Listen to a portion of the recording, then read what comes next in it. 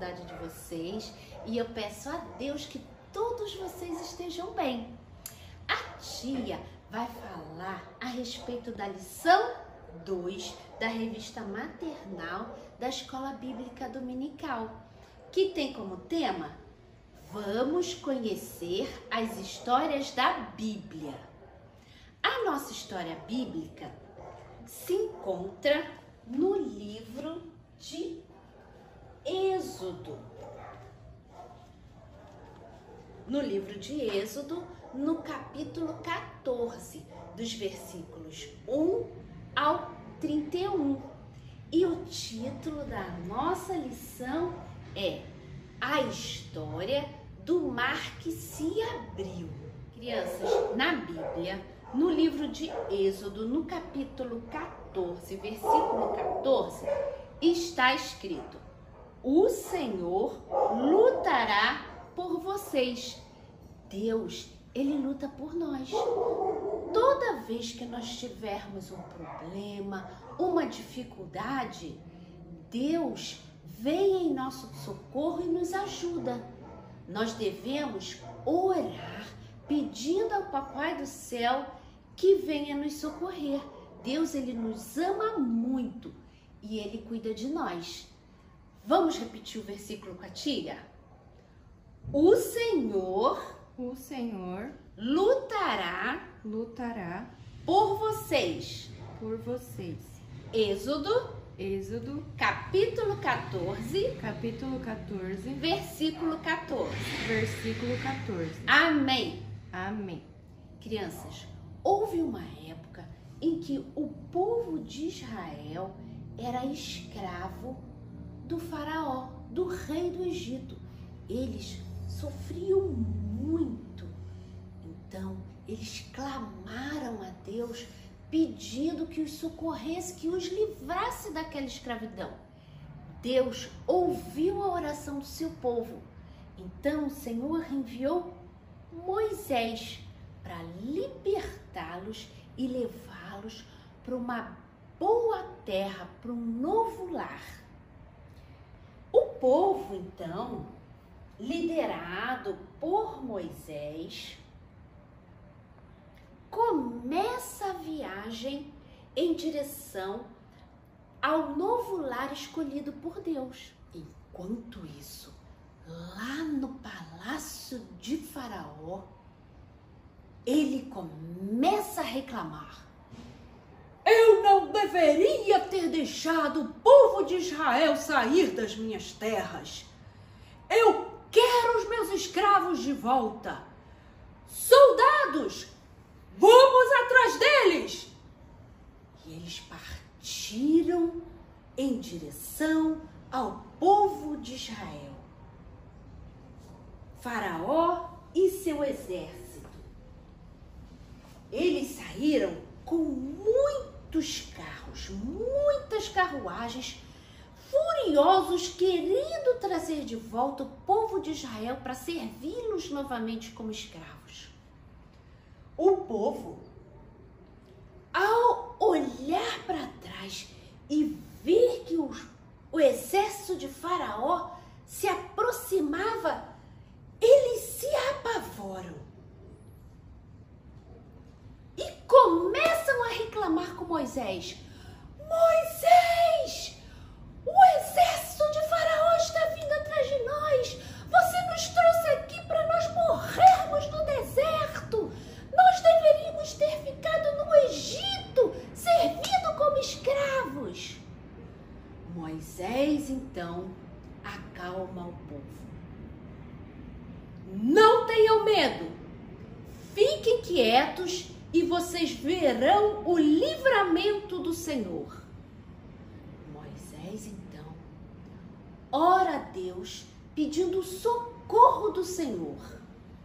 Deus, que ama muito o seu povo, responde a Moisés: Levante o seu cajado, estenda a mão sobre o mar e diga ao povo que marche.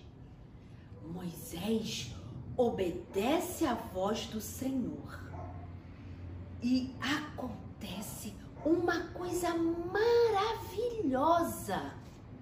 O anjo e a nuvem que guiava o povo de Israel na sua viagem pelo deserto ficaram entre os israelitas e o exército de Faraó, impedindo que o que o exército de Faraó alcançasse o povo de Deus.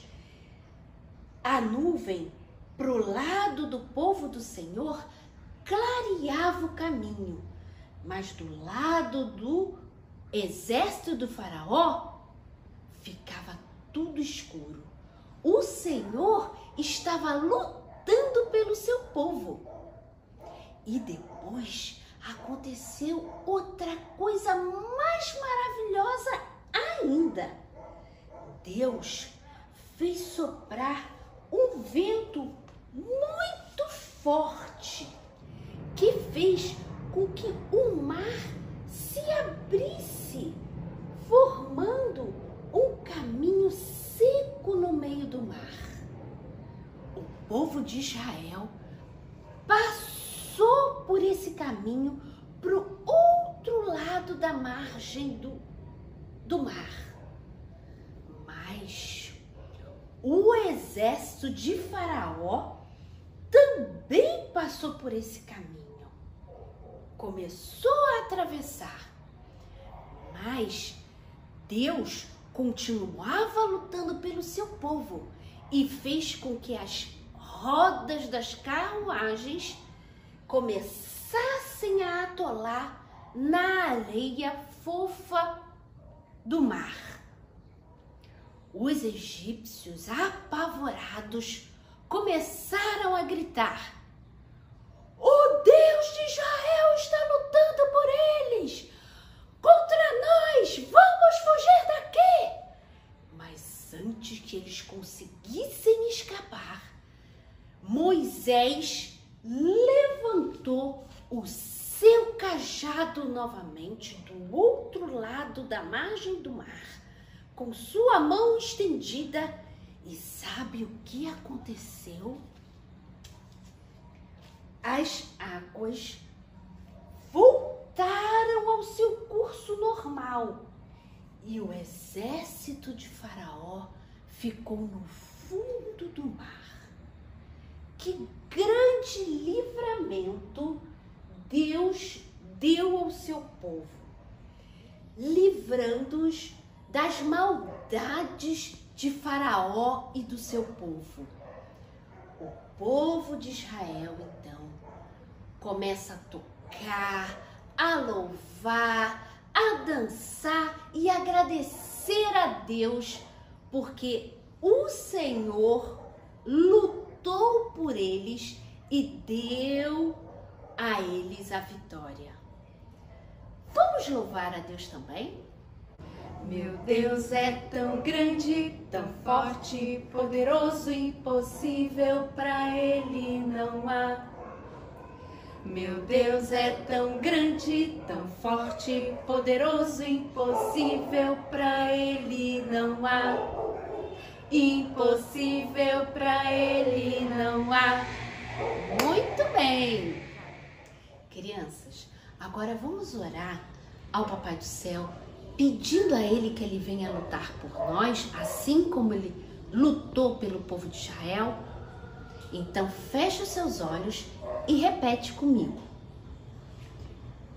Papai do Céu, Papai do céu, eu te louvo eu te louvo e te adoro, e te adoro, porque Tu és porque tu és poderoso. poderoso.